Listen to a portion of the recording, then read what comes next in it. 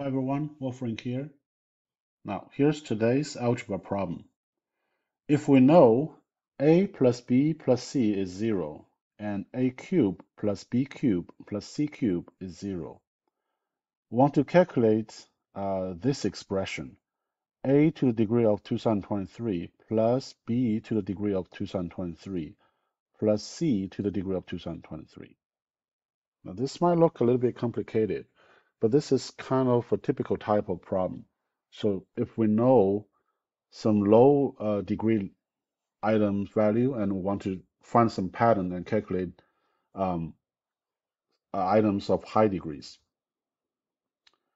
Now, if this is just for multiple choice and we just want to know the result, we could just guess because we assume there's no additional conditions here. So we assume that uh, as long as we find ABC satisfy the first two equations, um, the value of this expression, the target expression, will always be the same. So just try to figure out uh, a special solution for the first two equations. So we can use a equals to 1, b equals to minus 1, c equals to 0, which satisfy both equations. And then we plug that into the target expression, we get this. So the target expression is zero. Now we can further uh, provide some strict proof that this is actually the case. So the idea here is that um, we see a plus b plus c, and we see a cube plus b cube plus c cube. Naturally, we want to calculate a plus b plus c cube because a cube plus b cube plus c cube would just be part of its expansion. So we calculate this. Now this may look a little bit complicated, but this is actually very organized. It is symmetric. Each item is of uh, to the degree of 3. And then because we have a plus b plus c and uh, to the cube, so there's three of them timed together, and each one got three items. So in total, there's 3 times 3 times 3, 27 items. And if you look at the expansion before uh, combination, there could there are like a cube plus b cube plus c cube. Those are three items, and you have one, two, three, four, five, six times 3, 18 items plus 3, 21, then plus 6 is 27 items. And how we get, and, and we can e actually look into how each item is calculated. So if you want to have a cube, you want to take a from the first item a from the second item and A from the third item. So there's only one possibility, one permutation to get A cube. Similarly, there's only one permutation to get B cube and C cube.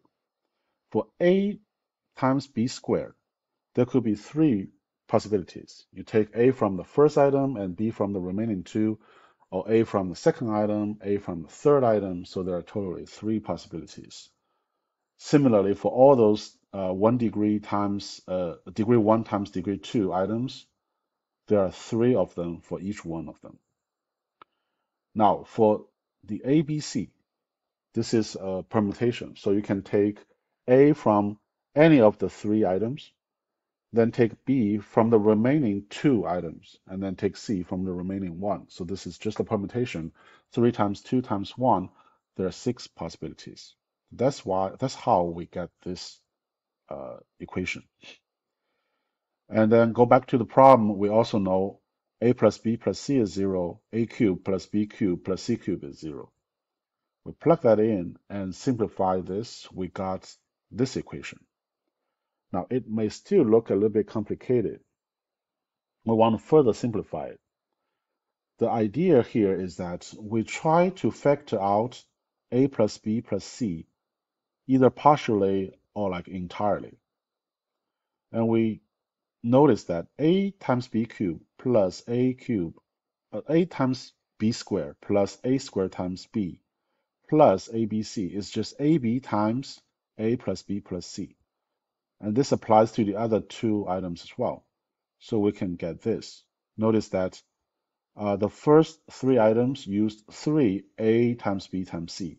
The original one only got two of them, so we have to minus one to make it still an equation.